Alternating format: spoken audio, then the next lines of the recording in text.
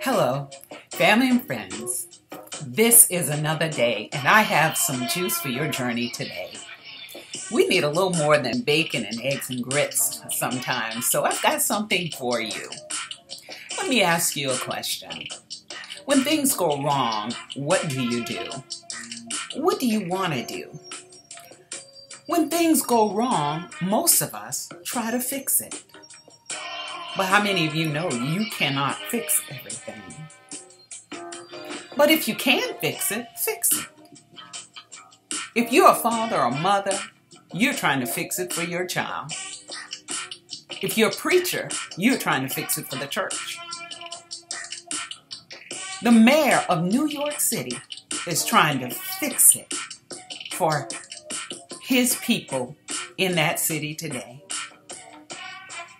If you're trying to fix a broken situation in your life, I have some juice for your journey today. Psalm chapter 46, verse 10 says, Be still and know that I am God. See, instead of running around trying to fix everything that's broken in your life, you might ought to just be still and put it in God's hand. Let God fix it.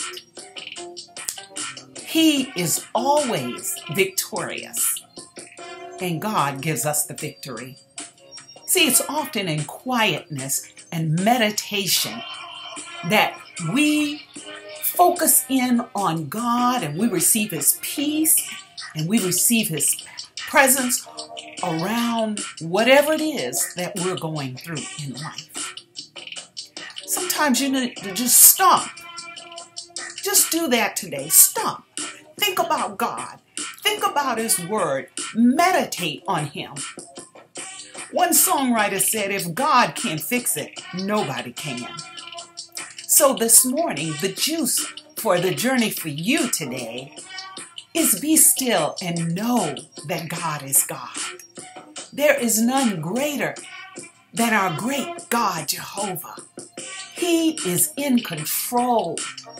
And so you just need to know that there is nothing too big for him to handle, nothing too small for him to handle. And while you trust in God, wait on him and allow God to fix that broken situation in your life today.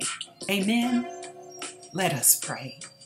Dear God, I need you to move in my life over this broken situation. I need your presence to surround it, and I need your peace so that I can rest while I be still and know that you're God. Amen. Amen. Friends, be safe today. Wash your hands.